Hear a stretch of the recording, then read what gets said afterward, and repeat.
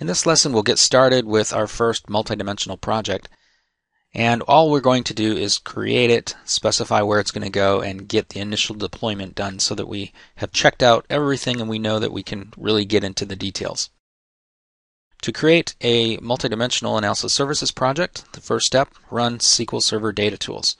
This is actually the Visual Studio 2010 shell with some design tools added into it to help us design these kinds of BI projects.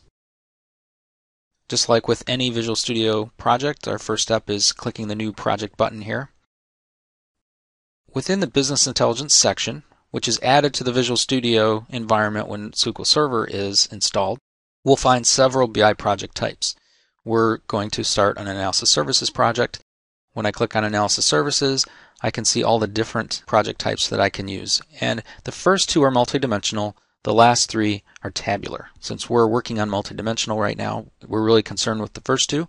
The first one creates a blank project. That's actually the one I want. The second one would import a database that already existed in a server. So let's say that I had deployed a database and lost the solution, or perhaps it had been changed in production and I just want to bring it back into a Visual Studio project.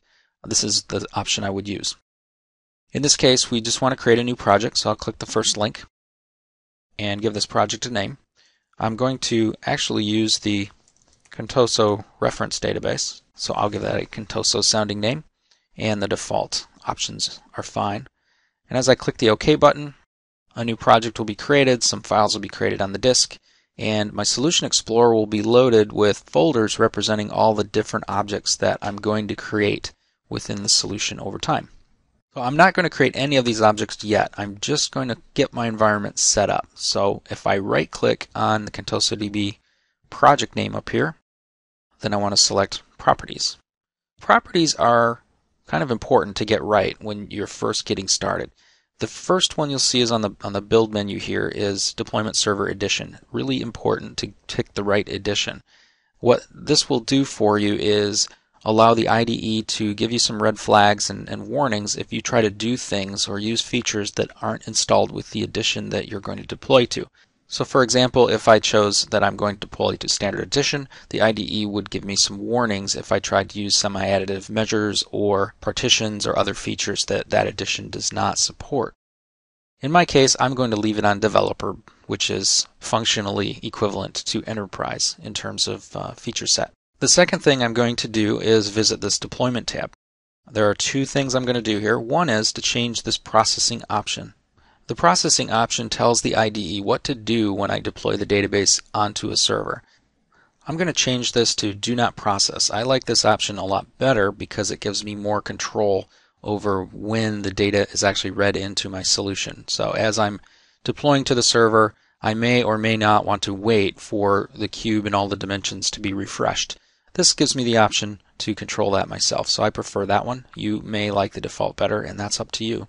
The second thing is target. So the target is actually the server name where we're going to deploy it, and if you're using a named instance, and in this case I am, you need to tack on that named instance after a backslash. The database name can be anything you want. The default is just to choose the project name, but you can call it anything you want. If, if you want to call this dev or something like that, that's fine. That's just the database name that will be created within the instance during deployment. And I'll click OK.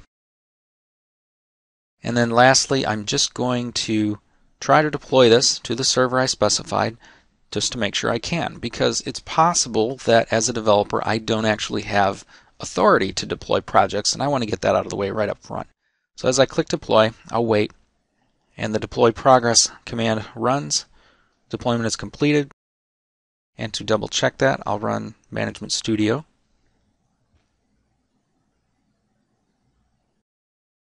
Select Analysis Services as the server type. Select the instance and server name. OK. For Management Studio, I can see my database was successfully deployed. So we'll just continue on in the next lesson and start to develop the solution.